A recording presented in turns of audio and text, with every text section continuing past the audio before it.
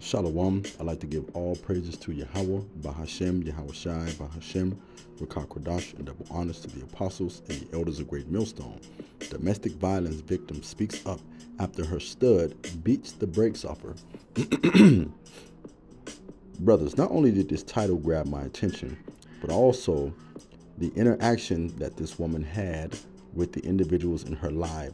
Because after this woman received this beating, she went on Instagram Live or Facebook Live or what have you, in my humble opinion, for attention. Because we know this is the current state and the condition of our people. They want attention for any and everything. But more or less, what was more profound is the interactions. People stating that they were praying for her. And as we can see here, let me blow this up a little bit for you, brothers. Someone says, someone by the name of Shay said, This is too much in one day. Um, Nicole Dorsey states that, Lord, wrap your arms around my day one. This is not okay.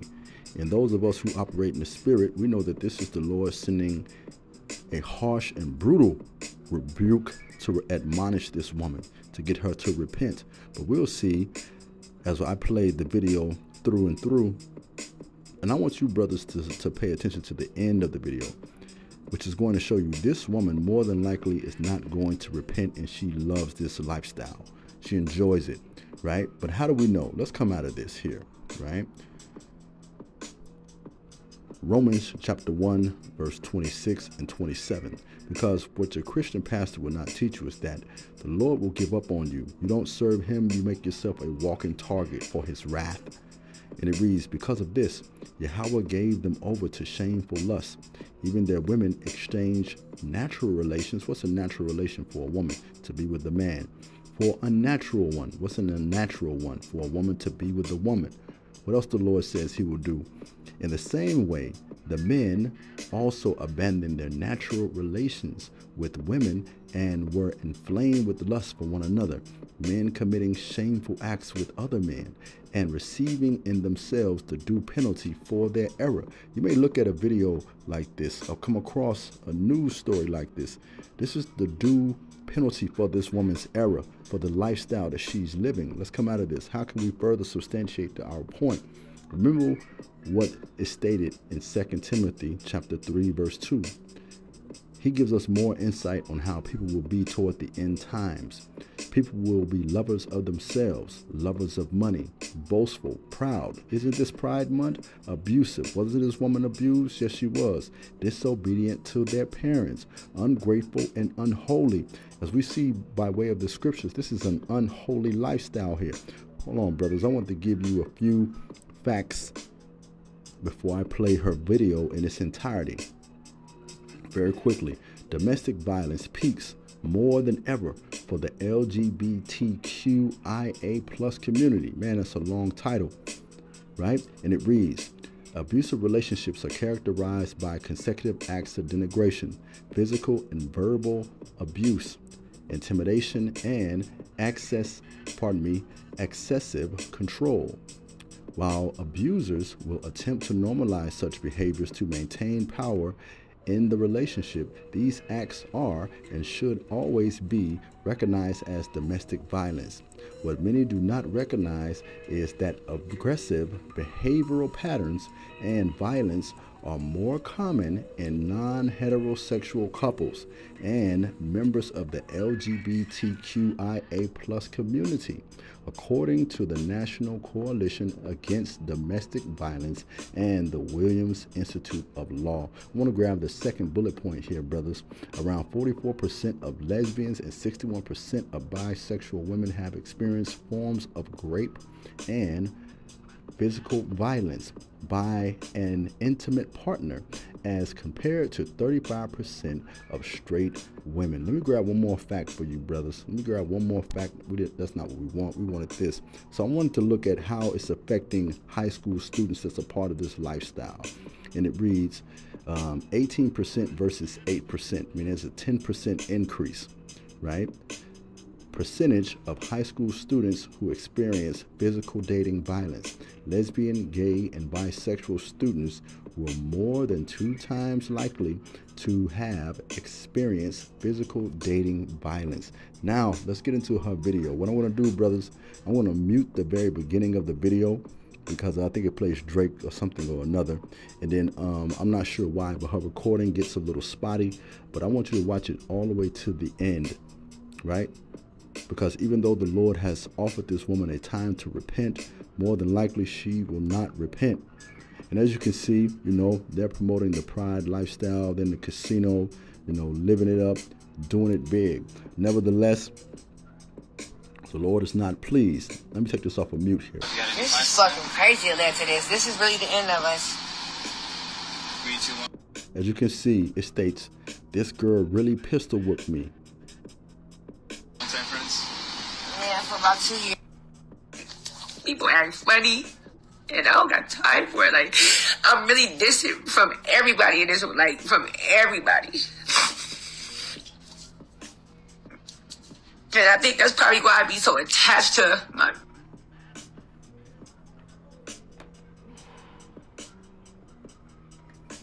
Hang in there, brothers. praying for you, baby. Thank you, cousin. Make me mad. Thank you, James. Head chest out. This is time. Thank you, Ducky.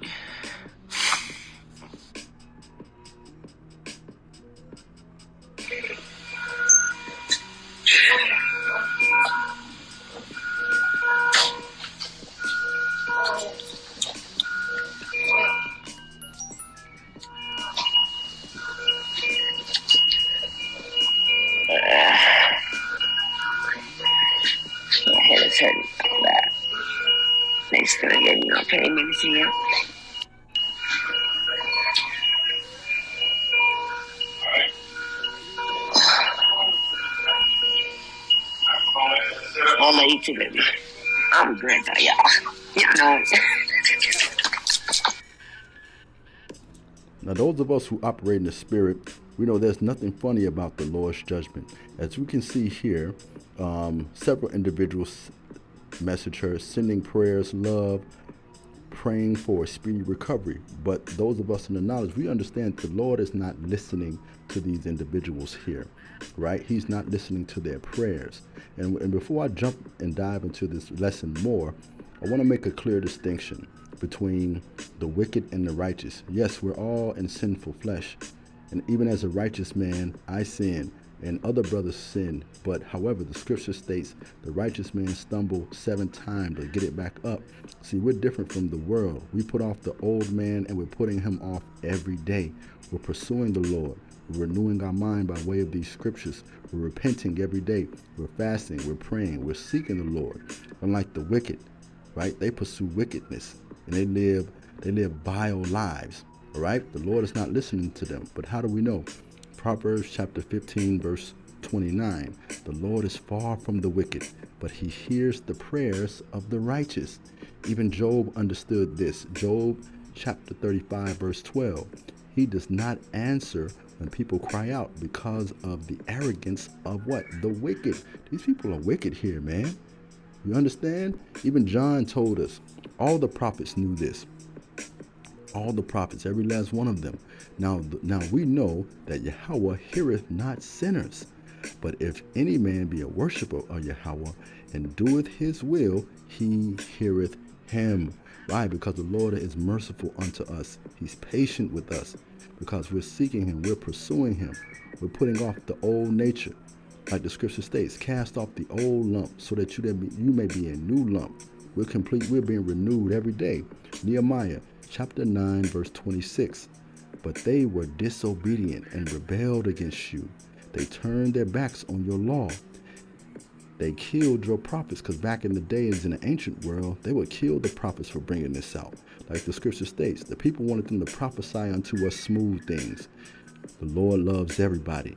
He died for the whole world. He loves you regardless of what you do. But that simply isn't the truth, right? Let's keep reading. Who had warned them in order to turn them back to you. They committed awful blasphemies. It's an awful blasphemy to live this contrary lifestyle. Let's go on from there, right? Because even in Solomon, pardon me, even in Proverbs, written by Solomon, one of the wisest men to walk the earth. This is how the Lord communicates his words by his prophets. And this is what the scriptures going in going into him. Proverbs chapter 1 verse 20. Out in the open, wisdom calls aloud. She raises her voice in the public square. On the top of the wall, she cries out. At the city gates, she makes her speech. And how is the Lord doing this? By his men, through his prophet, through the videos, through the brothers on the highways and the hedges. We'll continue reading. How long will you, simple ones, love your simple ways? How long will you mockers delight in mockery and fools hate knowledge? Repent at my rebuke. See, the Lord done this to her to get her to repent, to turn back, to cast off that lifestyle. What does the Lord say? Then I will pour out my thoughts to you. I will make known to you my teachings. But since you refuse to listen when I call, and no one pays attention when I stretched out my hand, since you disregard all my advice and do not accept my rebuke, this is what the Lord says. This is what the Lord says. I, in turn, will laugh when disaster strikes you. I will mock when your calamity overtakes you. When calamity overtakes you like a storm, when disaster sweeps over you like a whirlwind, when distress and trouble overwhelm you, then, then they will call to me, but I will not answer. They will look for me, but will not find me, since they hated knowledge and did not choose to fear the Lord, since they would not accept my advice and spurn my rebuke. They will eat the fruit of their ways and be filled with the fruit of their schemes, for their waywardness of the simple will kill them, and the complacency of fools will destroy them. But whoever listens to me will live in safety and be at ease without fear of harm. That's a cold cut to wicked Negroes, man. A cold cut. Even Jeremiah knew this in his time.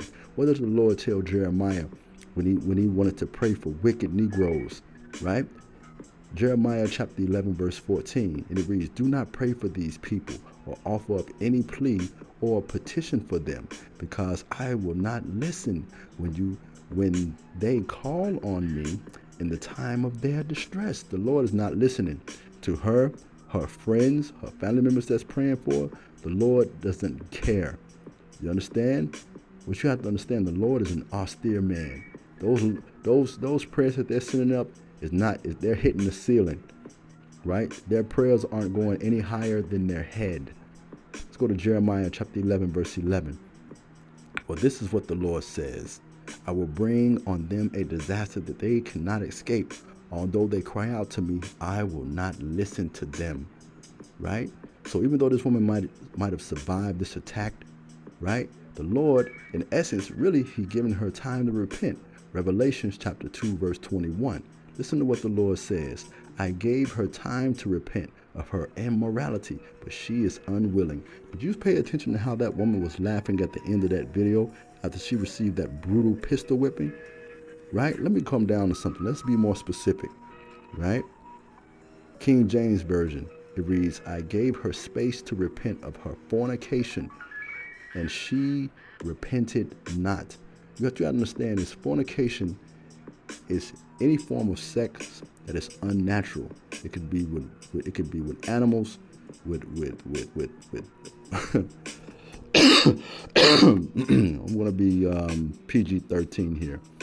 Any form of sex that's unnatural, that's sexual immorality and fornication. All right. But judging by the way the woman, this woman laughed at the end of her video, this is going to be her fate here. Revelation chapter 21, verse 8. But the cowardly, the unbelievable, the unbelieving, pardon me, the vile, the murderous, the sexual immoral, those who practice magic arts. I want to explain to you really quickly what magic art the arts is. Those who roll, those who do uh, um, pop pills, Percocets, who mix, mix blunts with cocaine, who, who who concoct new drugs. That's that's what your modern day uh, magic arts is considered. Right? The idolaters and all liars, they will be consigned to the fiery lake of burning sulfur. This is the second death. See, this woman here, the Lord in essence had mercy upon her. Rewind this back a bit. So, you brothers, the Lord in essence had mercy upon her, but judging by the way she laughed at the end of that video, this woman is not going to be going to repent, and she is destined for the lake of fire. Hopefully, hopefully, brothers, you found this lesson edifying. Shalom.